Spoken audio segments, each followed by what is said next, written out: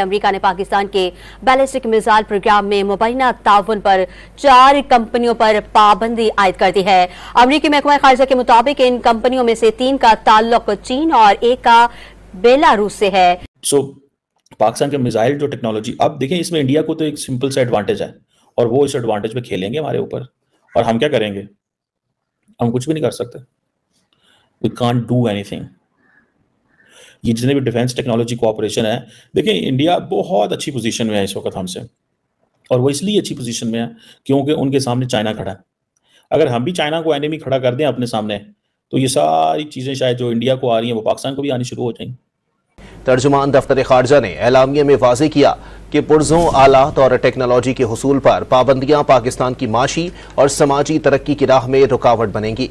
खत्े में बास ममालिक पर पाबंदी और बास ममालिक पर इसी नौयत की सरगर्मियों पर खुली छूट इलाकाई अमन के मुनाफी है। हमारे पास पैसा कोई नहीं है, हमें कुछ चीज़ देते ही नहीं। इंडियंस के पास पैसे हैं, वो हर चीज़ लिए जा रहे हैं। अमेरिकन को कहना पड़ रहा है this is transformational moment in the India US defence partnership दो वजूहत पे। अगर इंडिया के पास पैसे ना भी होते तो तब भी इंडिया को उन्होंने इंडिया को उन्होंने इंडिया से अच्छा ताल्लुक रखना था। ठीक है? अगर ना भी पैसे होते बिकॉज़ उनको समझ आ गई है ना कि we we want good ties with India हमें चाहिए इंडिया। अनवर इकबाल साहब अमरीकी हुकूमत की इन पाबंदियों की टाइमिंग क्या है? इन पाबंदियों का मकसद क्या है? जरा हमें ये भी बताइएगा।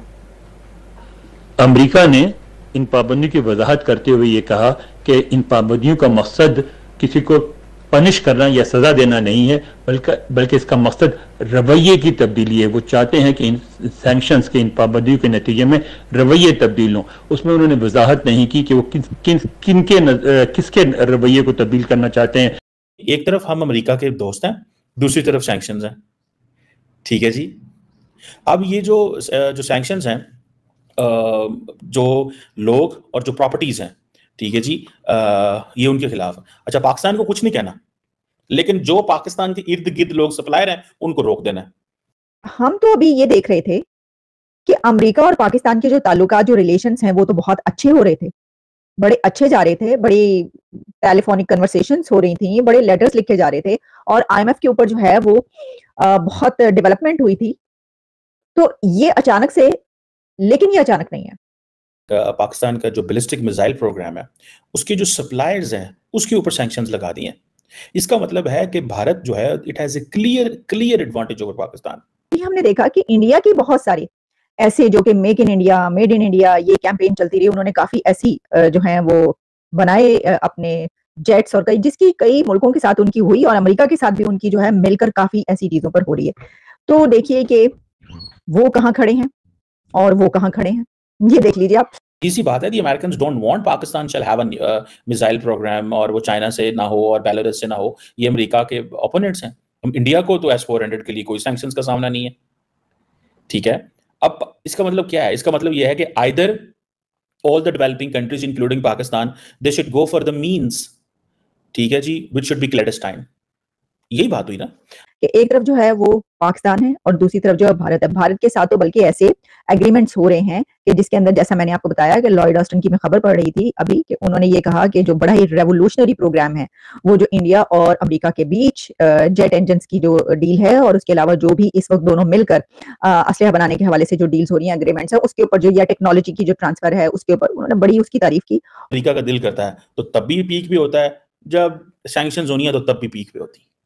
मतलब हमारी जो रिलेशनशिप है अमेरिका के साथ, वो कहा जाता है कि this is all about you know it's always hanging by single thread अगर ये कहा जाए कि इंडिया के कहने पर उन्होंने ये कर दिया, या इंडिया ने कोई ऐसी बात की तो उन्होंने कर दिया, इंडिया तो पहले भी कहता रहा इंडिया तो बहुत अरसे से कह रहा अगर आप ये देखिए, वो तो इस तरह की बहुत अरसे से बातें कर रहा है कि जनाब, ये जो है, ये असलिया जो ये बना रहे हैं, ये जो मिसाइल बन रहे हैं, ज़ाहिर है कि कहाँ पर चलाने सोचने की बात है, कितने चलाने वो जिस तरह वो चौधरी शुजात कहते थे कि जो हमने बनाए हैं, ये एटमी जो हथियार वो बनाए हैं, वो कोई शबरात पर पटाखे फोड़ने के लिए बनाए, शबरात पे थोड़ी फोड़ने वो। यानी मतलब ये होता था ना कि भाई जो दुश्मन है, उसके ऊपर फोड़ते दुश्मन आपको पता है किसको कहा जाता है? लेकिन मोटरा ने, मोटरा।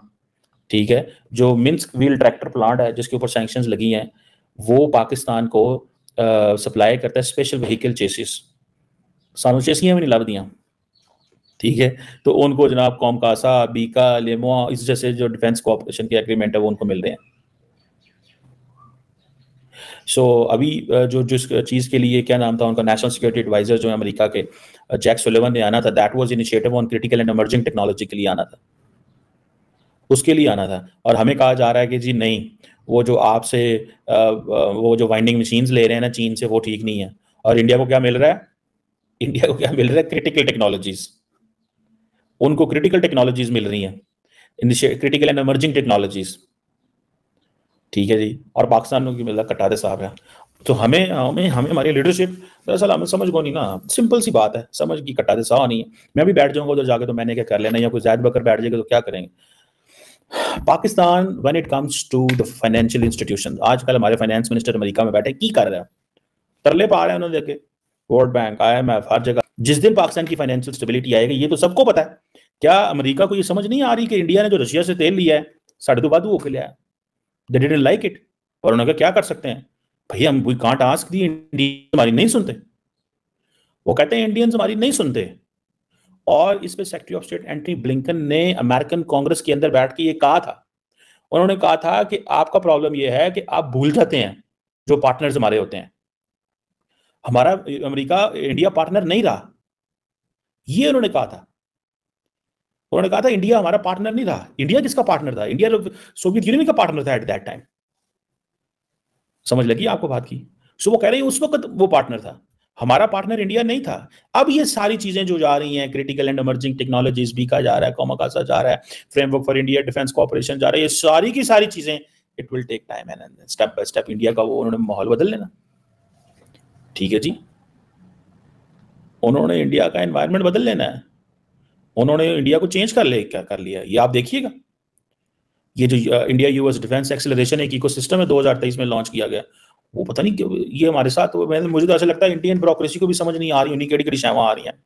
जब अमेरिका बहादुर का दिल खुलता है तो वो फिर शैवा तो सट देने ना वो। ठीक है जैसे ये, वो अफ़गानिस्तान की जंग के दौरान जब वो सारा कुछ यहाँ पे पैसा आता था, ठीक है, उस वक्त की हमारी लीड ने अपनी गेमा सेट करके सारी गैप हो गई नस की पता नहीं कितने कितने मौजूद है छोटा बड़ा उनको क्या बेचारों को, क्या कहते हैं गरे मुर्दे उखाड़ने हैं, ठीक है जी? अब तो डिफेंस इंडस्ट्रियल कोऑपरेशन हमें वो कहते हैं चेसियाँ भी नहीं लेनिया।